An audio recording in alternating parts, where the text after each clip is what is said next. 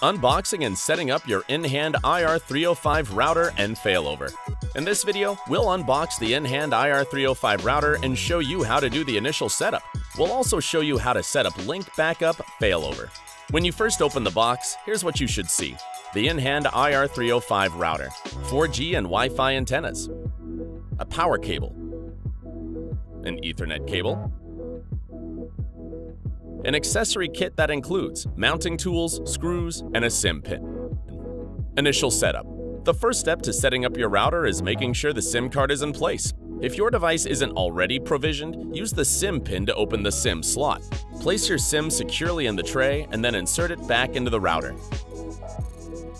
The next step is to attach the antennas. You should have four, two 4G antennas and two cellular antennas. Go ahead and attach the Wi-Fi antennas to the ports labeled Wi-Fi. Next, attach the 4G antennas to the ports labeled Cellular.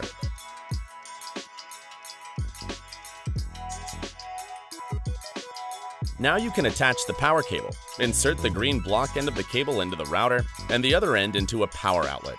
Once the cable is in, the power, system, and network lights should appear. Once the lights are steady, not blinking, take the Ethernet cable provided and plug one end into your computer and the other end into a LAN slot on the router. A green and yellow light will appear above the slot once the cable is plugged in.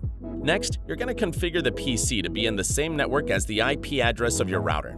Go to the Wi-Fi section of your computer, right-click, and select Network and Internet Settings. Scroll down to Advanced Network Settings in the menu that appears. From there, scroll down again to the More Network Adapters option. Select this option, and then select the Ethernet port that you used for the router connection. Once you've selected the Ethernet option, click on Properties in the window that appears. Find the option for Internet Protocol version 4 and double-click it. In the window that pops up, you'll see options for configuring manually and automatically. For this video, we'll use the automatic method. Select the following options. Obtain IP address automatically. Obtain DNS server address automatically. Click OK.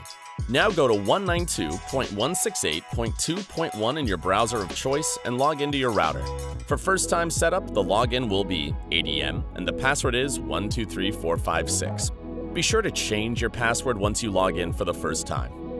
Once you're logged in, go to Status, Network Connections, and make sure the device is connected and has an IP address. The next step is to set up the Wi-Fi. Go to Network, WLAN, select Enable. Adjust the settings for the network as needed and click Apply. Now, try connecting to the network. Select the Wi-Fi icon on your computer, Manage Wi-Fi Connections. Find the network in the list and connect to it. Once you're connected, the Wi-Fi connection should be up and running. Setting up Link Backup Hot Failover. Now we're going to set up Hot Failover for your InHand 305 router.